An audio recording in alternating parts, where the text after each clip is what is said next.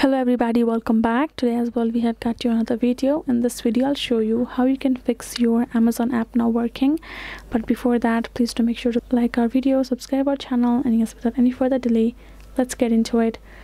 For that in case your app has uh, not been working properly so for that first of all go to your app store or play store. Go back search bar type in amazon search it up. Now you're gonna find your amazon shopping app right if your app needs an update you're going to find this update option instead of open. Tap on it update your app and you're good to go. If that doesn't help you're going to go back access your settings go back to show you the whole process.